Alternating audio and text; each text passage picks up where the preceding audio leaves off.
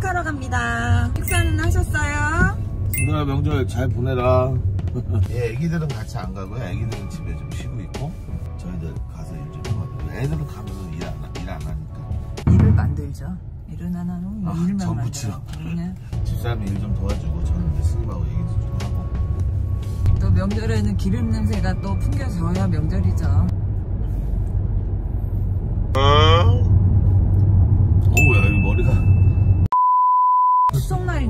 전날 보름달 보고 전날이죠?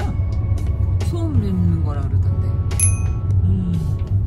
어제 아 하도 소리 질러갖고 어제 노래를 하도 불러갖고 들리십니까? 길에서 왜 기억도 안 나네 창피하면 기억 안 나는 걸로. 정말 여유만 되시면 마음적으로 물질적으로 여유만 되시면 힘 닿는 데까지 나시는 게 좋을 것 같아요. 근데 또 멀쩡한 사람 이렇게 좀 해줘요 멀쩡한 사람은 삐꾸로 네, 만 네. 삐꾸로 만들려고 그러십니까? 빠꾸와 삐꾸로 하면 나중에 pom프칩을 해도 빠꾸와 삐꾸 괜찮잖아 빠꾸와 반죽이도 괜찮습니다. 빠리 빠꾸 TV, 빠리 빠꾸, 빠리 빠꾸 그것도 약간 느낌이네. 빠라 삐꾸 네, 도착했습니다. 어, 이게 삼봉사예